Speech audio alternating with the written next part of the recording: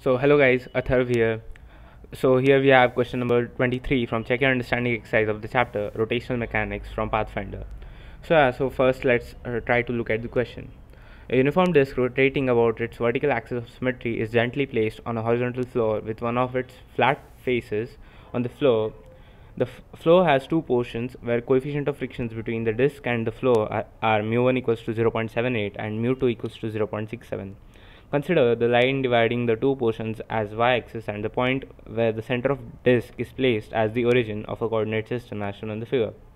Find acceleration of the center of the disk immediately after it is placed on the floor. Assume acceleration of free fall to be g equals to 10 meter per second square and pi equals to 22 over 7. So if you want to give this question a try, uh, you can do it now. And I would like to tell you that this question is pretty simple, but uh, the ideas used in this question will be very important uh, to the Next, next question in this exercise, the question number 24 from Check Your Understanding, which I will post just after this. So uh, please pay, uh, pay attention to this this one. So uh, if you want the hint, here it is. Uh, I'm giving the same hint as uh, given in the end of the book. Try integrating by uh, taking small concentric rings by calculation, calculation, calculating force on each. So if you want to give it a try again, you can do it now. So yeah, now let's look at the solution. So the solution of the problem is pretty straightforward, but uh, this one is important to imbibe ideas which will be required, uh, just as I said, for the next question. And we will use one basic assumption here that the whole disk will be pressing uniformly against the whole surface, which means that the uh, normal force per unit area on the disk will be uh, constant. So let's consider the forces on the two parts in two different uh, regions separately. So we have basically considered this region which has coefficient of friction mu2 and this region which has coefficient of friction mu1 separately so here uh, we can consider as this and so let's consider the right region right part first. So first of all let's consider the right part and in this let's consider two symmetrical pieces at a distance r from the center and at an angle theta above and below the horizontal line of symmetry. So we have considered two pieces this one and this one uh, theta degree above and below the line of symmetry and which are at a distance of r. So now here uh, we can observe that the force due to the friction on each piece will be same as they have the same area and will be uh, in direction opposite to their velocities as shown in the by the orange arrows. So the velocities of these pieces will be omega r in the tangential direction and uh, so the friction force will be opposite to this velocity and is shown by these yellow or orange arrows.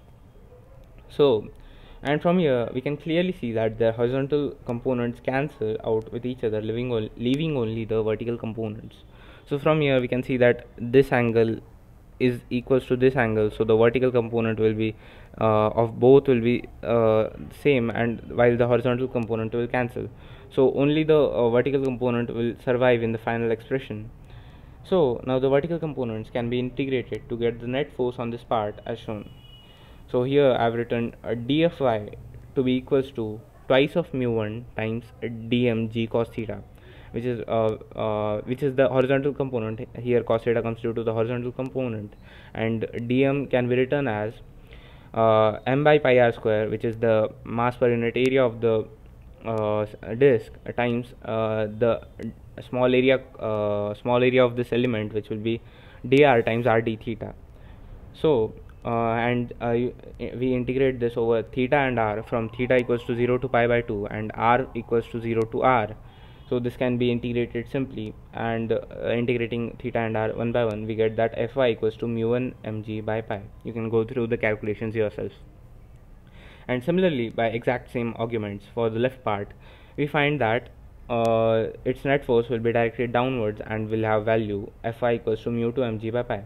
So from here we can see that uh, the uh, yellow arrows are directed in this way and again the horizontal forces will cancel leaving only the vertical component but here this time it will be directed downward so it, it has a negative sign. So net acceleration just after uh, leaving it will be uh, so the net force will be mu1 mg by pi minus mu2 mg by pi. So from here we get that the net acceleration just after leaving it will be uh, uh dividing this over mass. So this will be the final acceleration. So yeah that, this was a pretty straightforward question but uh, these ideas will be necessary in the next question so hope you all like the video. Please like share and subscribe. Thank you